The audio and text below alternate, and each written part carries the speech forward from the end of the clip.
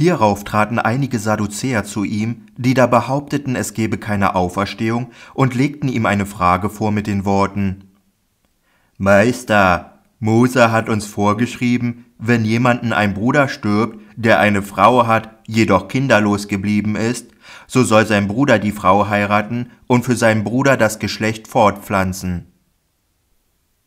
Nun waren da sieben Brüder. Der erste nahm eine Frau und starb kinderlos.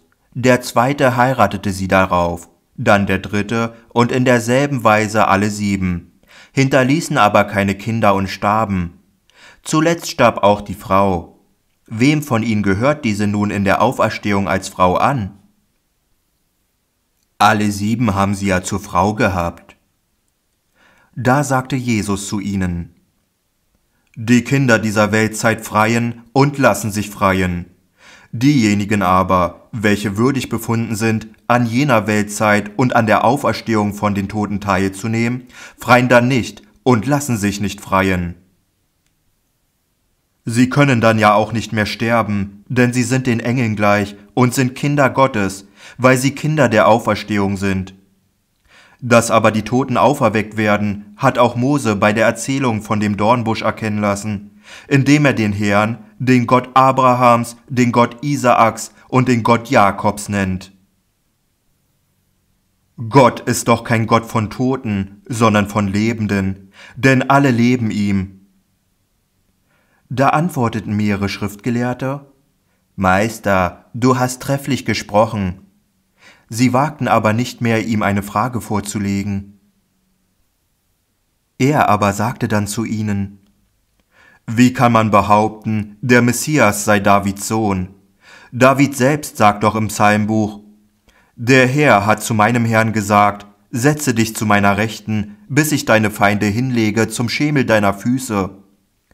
David nennt ihn also Herr, wie kann er da sein Sohn sein?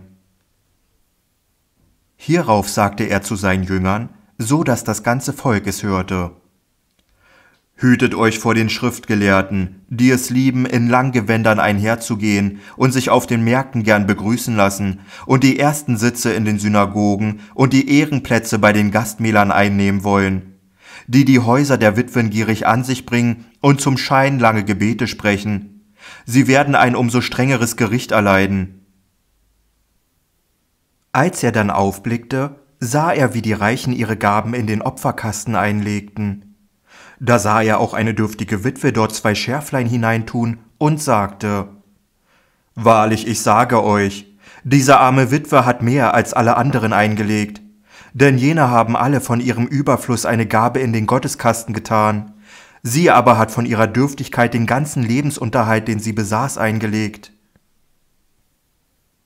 Als einige dann vom Tempel sagten, er sei mit herrlichen Steinen und mit Weihegeschenken geschmückt, antwortete er, Was ihr da seht, es werden Tage kommen, an denen kein Stein auf dem anderen bleibt, der nicht niedergerissen wird.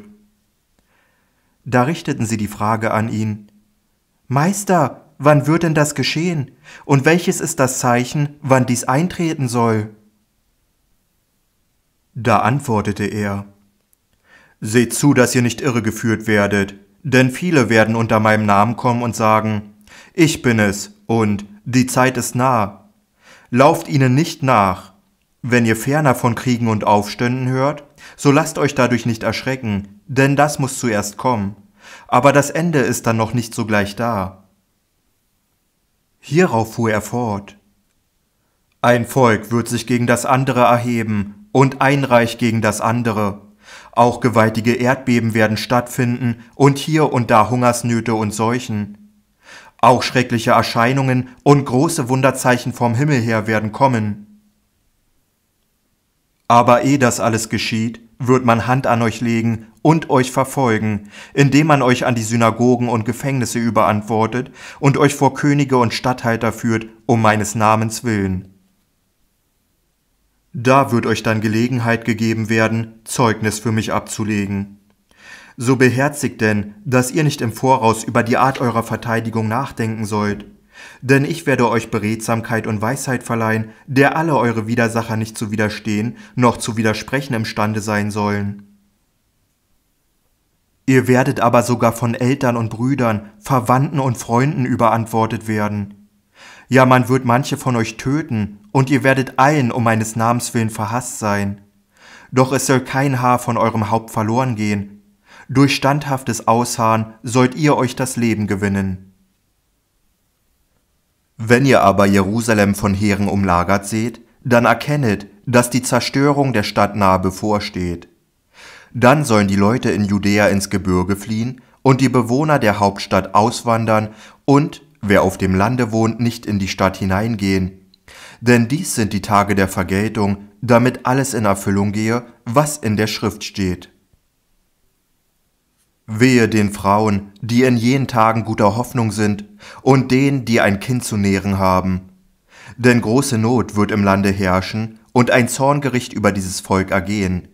Und sie werden durch die Schärfe des Schwertes fallen und in die Gefangenschaft unter alle Völker geschleppt werden. Und Jerusalem wird von den Heiden zertreten werden, bis die Zeiten der Heiden abgelaufen sind. Dann werden Zeichen an Sonne, Mond und Stern zu sehen sein, und auf der Erde wird ratlose Angst der Völker beim Brausen des Meeres und seines Wogenschwalls herrschen, da die Menschen den Geist aufgeben vor Furcht und in banger Erwartung der Dinge, die über den Erdkreis kommen sollen. Denn die Kräfte des Himmels werden in Erschütterung geraten. Und dann wird man den Menschensohn auf einer Wolke kommen sehen mit großer Macht und Herrlichkeit. Wenn nun dies alles zu geschehen beginnt, so richtet euch auf und hebt eure Häupter empor, denn eure Erlösung naht. Er sagte ihnen dann noch ein Gleichnis. Seht den Feigenbaum und alle anderen Bäume an.